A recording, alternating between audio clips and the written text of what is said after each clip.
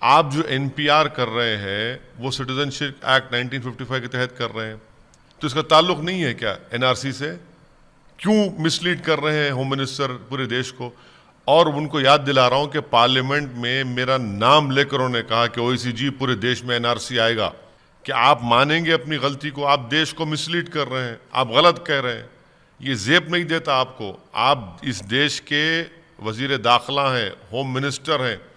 آپ کو سچ بولنا چاہیے۔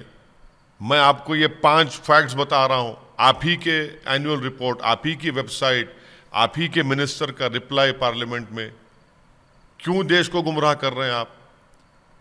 N P R N R C کی طرف پہلا قدم ہے اور این پی آر جب ہوگا اپریل ٹوینٹی ٹوینٹی میں، اس میں ڈاکومنٹس پوچھے جا، اس آفیسر کو یہ اختیار ہے کہ وہ ڈاؤٹ فل لکھے گا۔ اس کے بعد ڈاکومنٹس پوچھے گا۔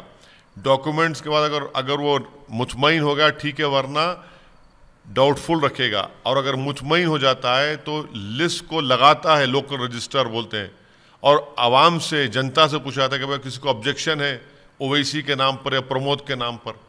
اگر کسی کو آبجیکشن ہوگا تو پھر وہ اس پہ انکوائری ہوگی۔